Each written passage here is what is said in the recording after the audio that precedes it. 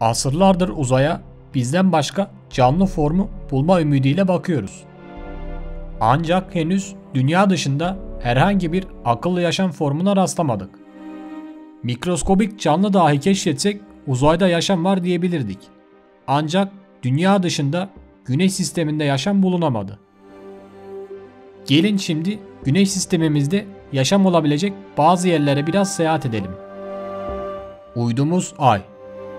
Bizden sadece 400 bin kilometre uzaklıkta. Bugüne kadar 12 insan Ay yüzeyinde yürüyüş yaptı. Ayın dünya gibi bir atmosferi yok. Dolayısıyla Ayın yüzeyinde yaşam olmamasının en büyük nedenlerinden birisi de bu. Ay'a giden ilk insan olan Neil Armstrong'un ayak izleri. Onları değiştirecek herhangi bir hava akımı olmadığından milyonlarca yıl boyunca bu izler böyle kalabilir. Sıradaki gezegen Merkür'e gidiyoruz. Güneş'e en yakın gezegen. Güneşimiz bakılamayacak kadar parlak ve Merkür bunun tam ortasında bulunuyor. Merkür'de gündüzleri ortalama sıcaklık 400 derece.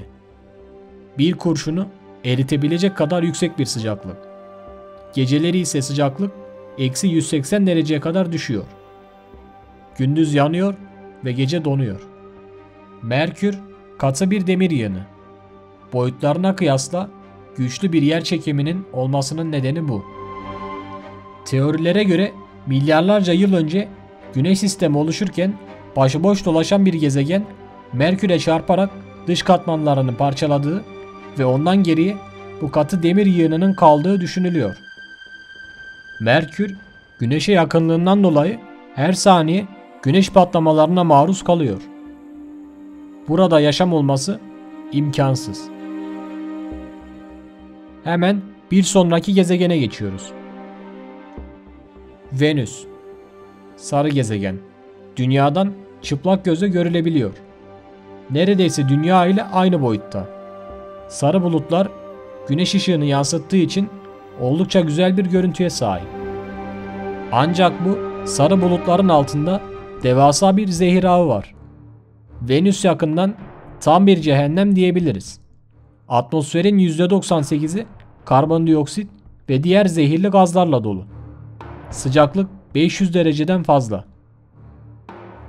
Basınç dayanılmaz bir seviyede.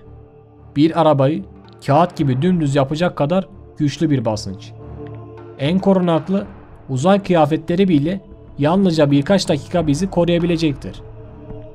On binlerce aktif yanardağ atmosferi zehirli gazlar salıyor. Küresel ısınmanın kontrolden çıkmış hali işte tam olarak bu. Venüs yaşam olmaması için bütün olanakları sunuyor. Burada hiçbir şey hayatta kalamaz. Hemen bu gezegeni terk ediyoruz. Sıradaki gezegenimiz Mars. Birçok bilim kurgu filmlerinde Mars'a oldukça sık değiniliyor. Bunun nedeni Mars'ta yaşamı destekleyecek unsurların milyonlarca yıl önce yok olması. Bir teoriye göre Mars'ta tıpkı bir zamanlar dünya gibi okyanusları ve atmosferi olan bir gezegendi. Ancak Mars günümüzde ölü bir gezegen ve yüzeyi paslanmış metal tozları ile kaplı. Bugüne kadar Mars yüzeyine birçok keşif aracı gönderildi. Kayaların ve atmosferin yapısını inceleyerek gezegen hakkında birçok bilgi elde ettik. Mars'ın atmosferini yaklaşık %96'sını karbondioksit ve geriye kalan %4'ünü ise diğer gazlar oluşturuyor. Bu gezegendeki atmosfer basıncı dünyadan yaklaşık 35 kilometre yükseklikte bulunan basınca eşdeğer. Ayrıca Mars'ı Güneş'in mor ötesi ışınlarından koruyacak bir manyetik alan olmadığından yüzeyinde yaşam olması imkansız. Güneş yeryüzünü yakıp kavuruyor. Gündüz ile gece arasında 100 derecelik bir sıcaklık farkı var. Ve bu da yüzeydeki kayaların parçalanarak kuma dönüşmesine neden olmuş. Bu yüzden gezegende sık sık kum fırtınaları gerçekleşiyor. Mars'ın kutuplarında donmuş su buzu tespit edildi. Su demek yaşam izi demek. Donmuş buzun varlığı yaşam izi gibi görünebilir. Dünyada en derin noktalarda bile imkansız dediğimiz yerlerde bile hayat var. Fakat Mars'ta herhangi bir yaşam belirtisine rastlanamadı. Eğer gelecekte Mars'ta yaşam olacaksa bu yer altında olmak zorunda. Güneş sistemimizde yaşam olabilecek başka gezegenler aramaya devam ediyoruz. Sıradaki durağımız Jüpiter. Güneş sistemindeki en büyük gezegen. O kadar büyük ki içerisine bin adet dünya sığabilir. Ve o meşhur kırmızı leke. Bu kırmızı leke o kadar büyük ki dünyayı bu lekenin üzerinden rahatlıkla geçirebilirsiniz. Ancak Jüpiter'de yaşam olabilecek gezegenler listemizin dışında yer alıyor. Çünkü Jüpiter bir gaz devi ve herhangi bir kayalık yüzey bulunmuyor. Eğer uzay aracımızla Jüpiter'e doğru dalsaydık birbirinden farklı atmosfer tabakaları ve katmanları boyunca dibe batmaya devam ederdik. Derinlere indikçe uzay aracımız basınçtan parçalanana kadar bu yolculuk devam ederdi. Birbirinden farklı atmosfer tabakaları boyunca dibe batıyorsunuz ve inecek herhangi bir yüzey yok. Kim böyle bir yolculuk yapmak ister ki? Güneş sisteminin sınırlarına doğru devam ediyoruz. Sıradaki gezegen Satürn. Halkalarıyla her zaman bizi etkilemeyi başardı. Dünyadan 800 kat daha büyük olan Satürn'de bir gaz devi ve atmosferinin büyük çoğunluğu hidrojen ve helyum gazlarından oluşuyor.